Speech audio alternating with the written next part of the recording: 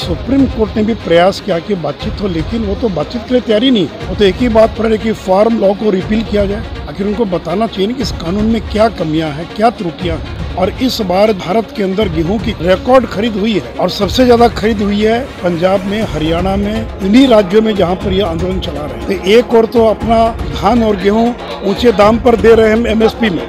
दूसरी ओर धरना पर बैठ रहे हैं। केवल मुट्ठी भर लोग बैठे हैं आंदोलन पर। बाकी देश का किसान नरेंद्र मोदी के साथ है बीजेपी के साथ। किसानों के मुद्दे पर विपक्ष सरकार को घेर रहा है। किसान कह रहे हैं कि हमसे सरकार बातचीत को तैयार नहीं है। सर हमारे साथ मौजूद है बीजेपी सांसद सुशील मोदी जी। सुशील जी बातचीत क्यों नहीं हो रही? किसान हमारे देश के अन्नदाता हैं। वो कह रहे हैं हमसे बातचीत ही नहीं की जा रही। देखिए 11 राउंड की बातचीत हो चुकी है। और सुप्रीम कोर्ट ने भी प्रयास किया कि बातचीत हो लेकिन वो तो बातचीत के लिए तैयार ही नहीं है। वो तो एक ही बात पड़ रही कि फार्म लॉ को रिपील किया जाए। आखिर उनको बताना चाहिए ना कि इस कानून में क्या कमियाँ हैं क्या त्रुटियाँ हैं। तो 11 राउंड की बातचीत में कभी वो ये नहीं बता पाए। और सुप्रीम कोर्ट ने जो चार सदस्य कमेटी का गठन किया था उसने भी अपनी रिपोर्ट दे दिया है। और देखिए एक और ये धरना पर बैठते हैं।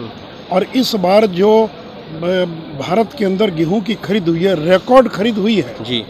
और सबसे ज़्यादा खरीद हुई है पंजाब में हरियाणा में इन्हीं राज्यों में जहाँ पर यह आंदोलन चला रहे हैं। तो एक और तो अपना धान और गेहूँ ऊँचे दाम पर दे रहे हैं एमएसपी में। हम्म। दूसरी ओर धरना पर बैठ रहे हैं। अगर हमको एमएसपी खत्म करना होता तो इतने बड़े पैमाने पर हम गेहूँ की खरीद क्यों करते? हम्म। और जब प्रधानमंत्री जी ने स्पष्ट कर दिया है हम्म।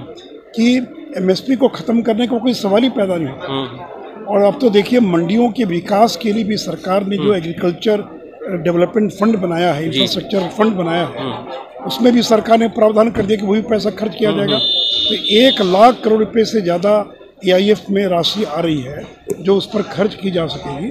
ताकि इनका मुद्दा क्या है? लेकिन सर किसान कह रहे हैं हमारे लिए कानून हमको चाहिए नहीं तो फिर क्यों हम भैया अगर तो बिहार का किसान क्यों नहीं है यूपी का क्यों नहीं है महाराष्ट्र का क्यों नहीं है?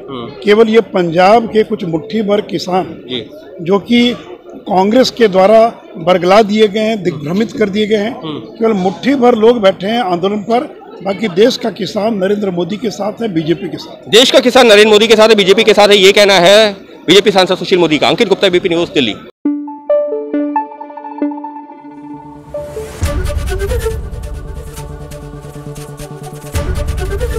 ABP news आपको रखे आगे।